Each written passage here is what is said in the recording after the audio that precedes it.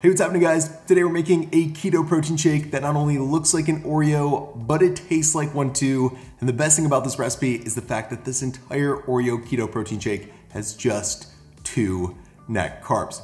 Now, with that said, today's low carb keto protein shake recipe, it is sponsored by Isopure Protein. And really, if you're trying to make yourself a protein shake with the lowest amount of carbs possible, their protein powder is some of the best you can use. And the reason being is because a ton of their protein powders have zero carbs or next to zero grams of carbs. For example, their vanilla protein powder, which we'll be using to make this Oreo keto protein shake with, it has zero grams of carbs. And like I said, a bunch of the other flavors do as well. As a lot of you guys know, I love using their unflavored protein powder to make a lot of savory recipes with. It bakes incredibly well, and it also has zero grams of carbs. Anyway, let's not waste any more time. Let's jump right in the good stuff because I'm sure you're getting hungry for this Oreo keto protein shake, and I'll show you how to make it.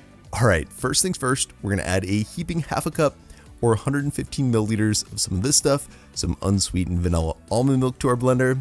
Then after we've added our milk in there, we're gonna add some creaminess to our keto shake by using some of these frozen diced avocados. I wanna use around a half a cup or 75 grams of them to make the shake. Also, for best results, make sure to use a slightly underripe avocado for your keto shake. This will ensure that it's super neutral in flavor and it doesn't make the keto shake taste like an avocado.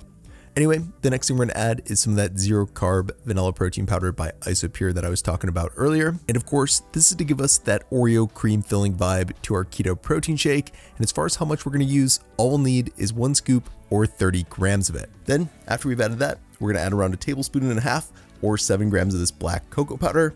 And this is what's really gonna give the shake its Oreo flavor. So if you don't have this, make sure to pick some up so you get that authentic flavor to your shake. Anyway, the next thing we're gonna add is about four tablespoons or 36 grams of some zero carb sweetener.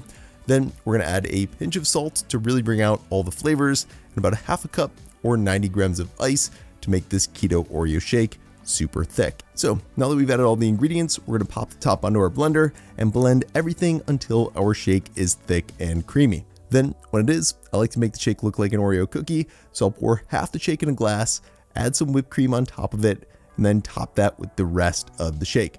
And today I was feeling a little bit extra, so I added some more whipped cream on top of that and a bit of black cocoa powder to the top of the shake as well.